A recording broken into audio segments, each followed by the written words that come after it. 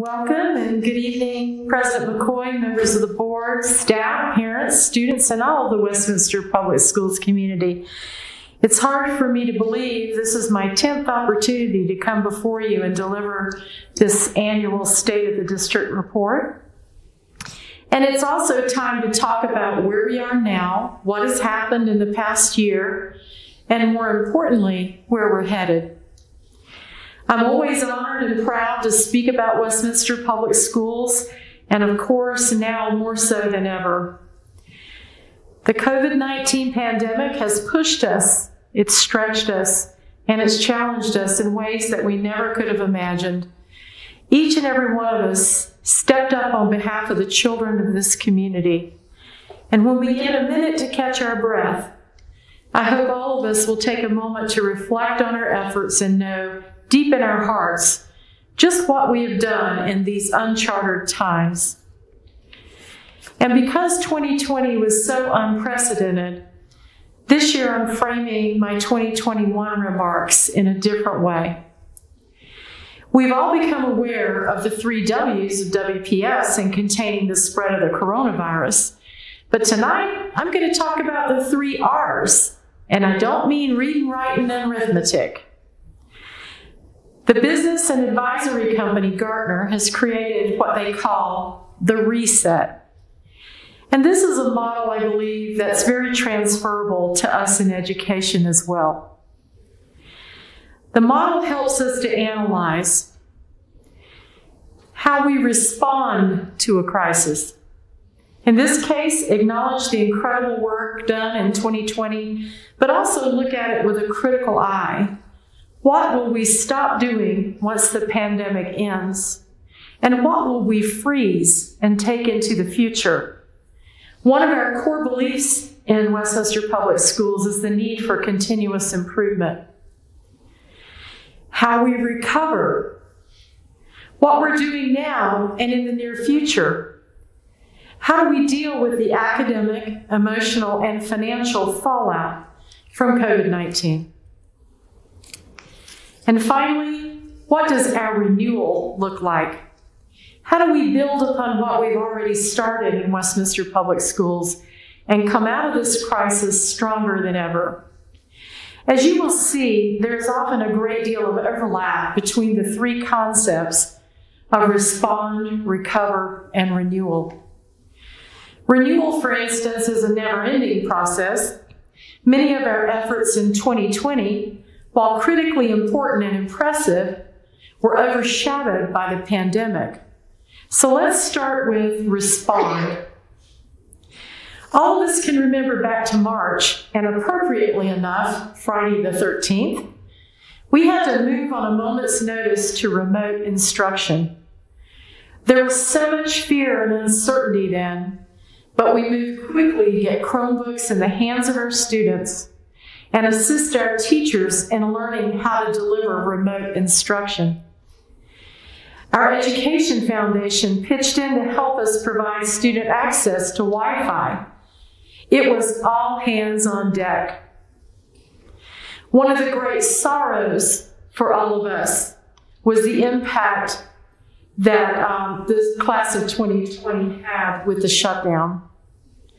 They lost so much but with the leadership of Keithany Kiwood and James Stewart, we created virtual graduations, celebratory yard signs, and teacher parades.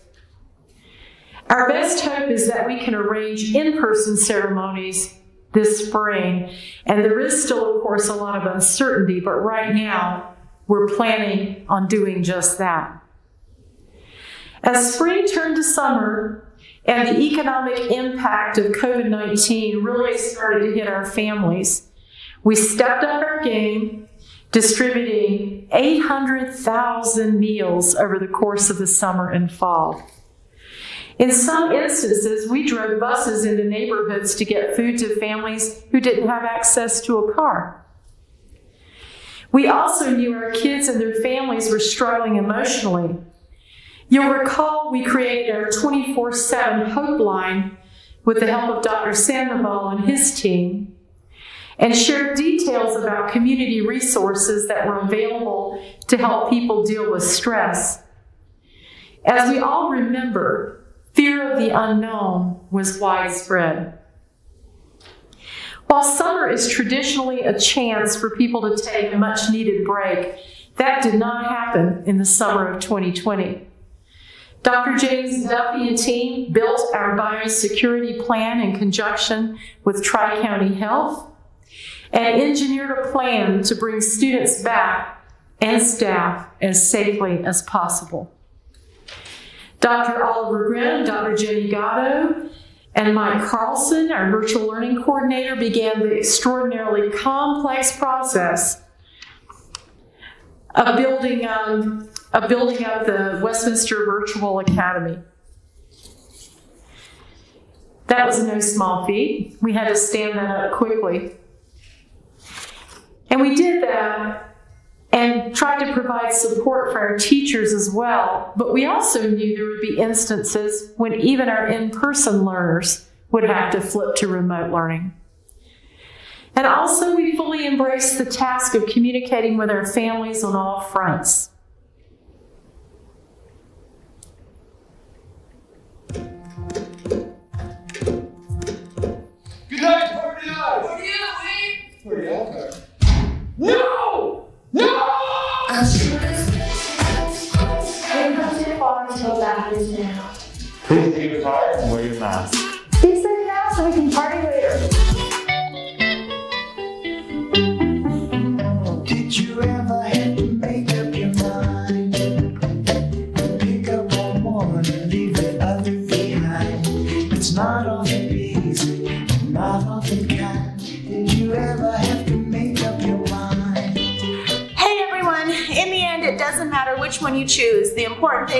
You wear one. And in addition to a series of public service announcements, and there were many, and the creation of a COVID 19 specific webpage, we also mailed out publications sharing our COVID 19 restart and safety plans. We also hosted a virtual community town hall to answer questions. We were among the first districts to bring our students back in person and made transparency a top priority. As you may remember, we allowed the Denver Post and Colorado Public Radio unique access to our Restart program to inform and reassure the community while also showcasing the amazing commitment of our staff. Here's an example. And I understand that Westminster Public Schools made it clear, I think as far back as early June, that it wanted to open its doors. Yeah, this really caught my attention. Uh, obviously, the district's first priority was we want to make sure that any reopening plan is safe. But the language that Superintendent Pamela Swanson used in her letter to health authorities about why they wanted to reopen, it was strikingly powerful. She talked about students at home uh, at risk of depression and suicidal thoughts. She talked about families at risk of losing their income because they have to stay at home to watch kids who couldn't be in school. Our main concern, though, with not bringing kids back or even postponing and starting up school even later was that we would widen the achievement gap. And as part of that transparency, we also created our COVID 19 dashboard and did our best to capture the challenges and successes of our strategy in the end.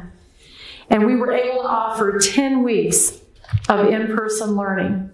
This was a major accomplishment. We were also responsive to conditions on the ground, and as the numbers surged in Adams County and our state, we took the responsible step to pivot our schools to remote learning prior to Thanksgiving. And speaking of gratitude, our Board of Education put its money where its mouth is by providing every employee in the district a generous stipend to reward and recognize going above and beyond for his or her efforts during unprecedented times. As you remember, we made a commitment to our community to find ways to attract and retain high quality staff. And with leadership from our Chief of Staff, Kirk Lede, and Chief Financial Officer, Sandy Neese, I think we made a good faith effort on keeping that commitment. I received many heartwarming emails from employees who were suffering financially as they described what this stipend meant to them and their families. That's an overview of our response to date. Now let's look at how we recover. It's clear that for us to provide a quality education, we must continue to be vigilant in our efforts to contain the virus. In fact, our district's footprint today is at 5% of a 14 day positivity rate, which is the target health officials have given us. I want to thank everyone in the community for continuing to do a good job with protocols. That's what it's going to take for the rest of the school year. Yes, vaccines are now being distributed, and I will have more to say on that in a moment. We're also hearing of variants of the virus that are more easily transmittable. But remember, schools are low risk environments, and we still cannot let our guard down. Testing remains an important part of our containment strategy. And last summer, we partnered with COVID Check Colorado to offer twice a month testing to our employees. That partnership has expanded so that we now test staff, students, and the community at large every day here at Westminster High School.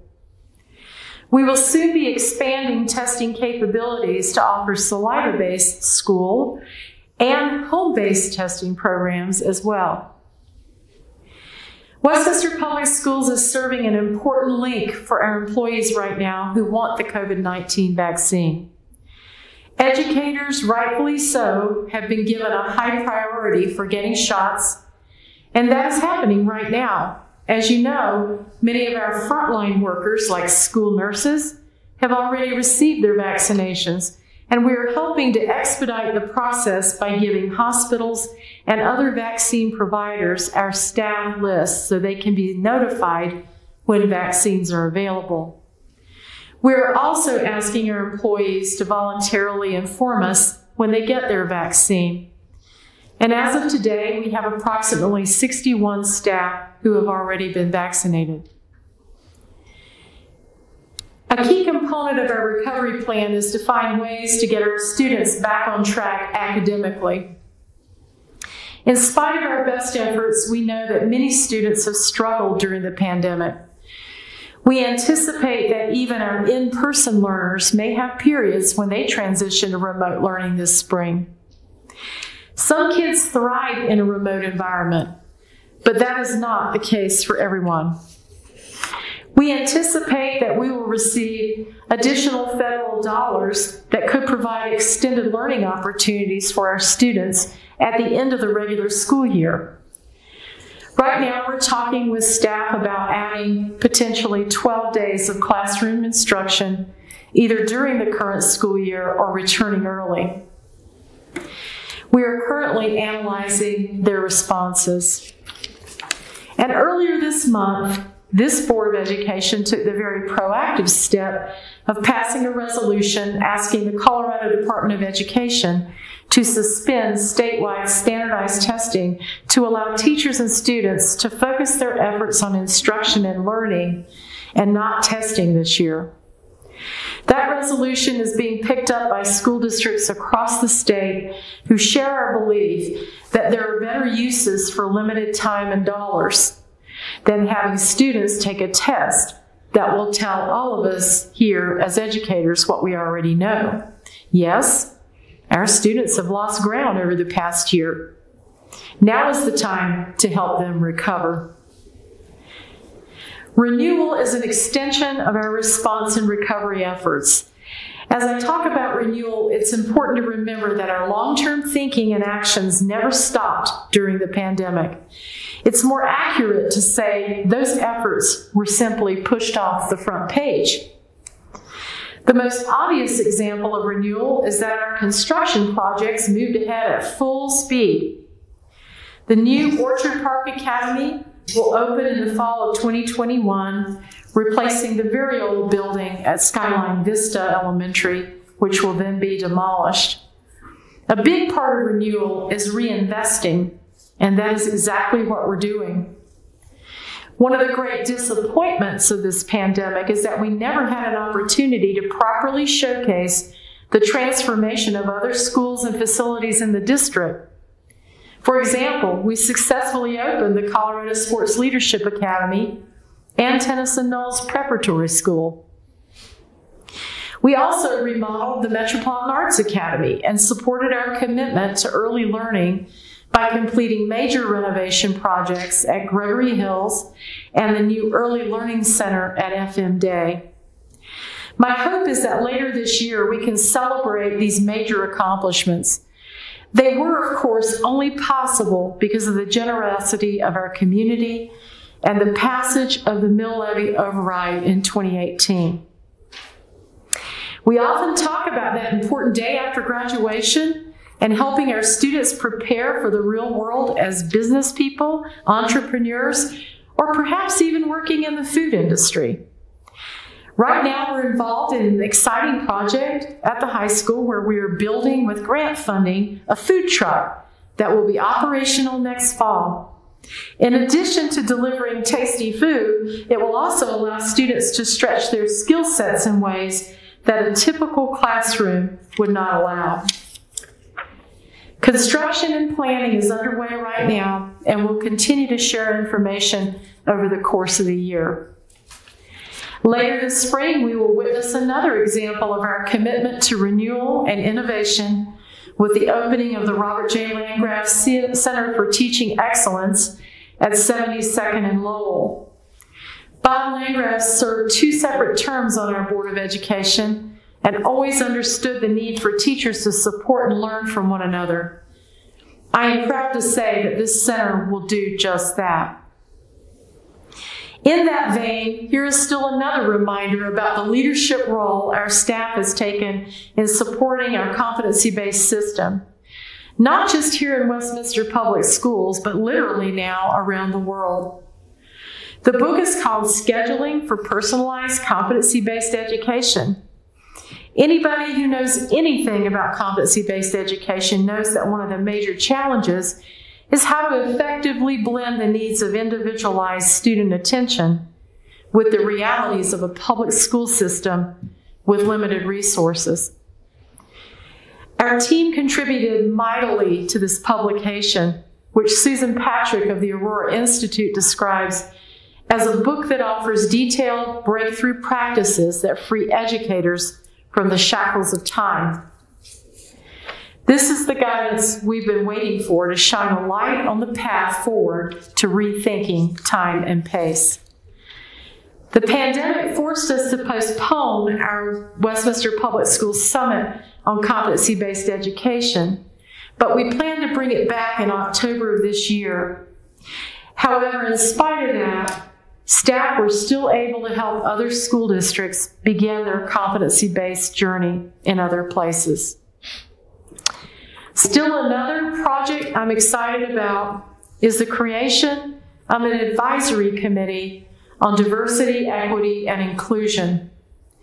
We have always paid attention to these important issues, but I think the creation of this committee will serve an important role both symbolically and in very practical terms.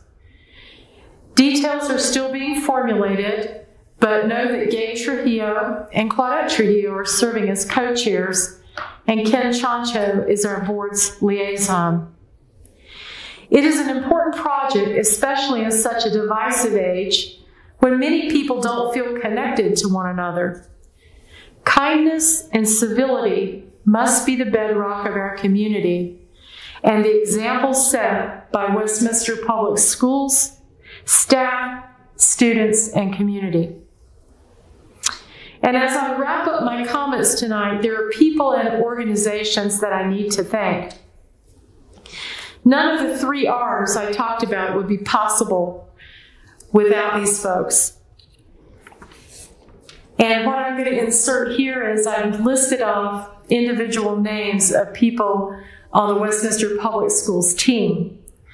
But team members from nutritional services to technology services to the warehouse, to operations and facilities, our principals, our teachers, our hardworking support staff in all our buildings, and our Educational Services Center, and of course our Board of Education, none of this report I'm giving right now would have come to fruition if it hadn't been for a joint, all hands on deck effort.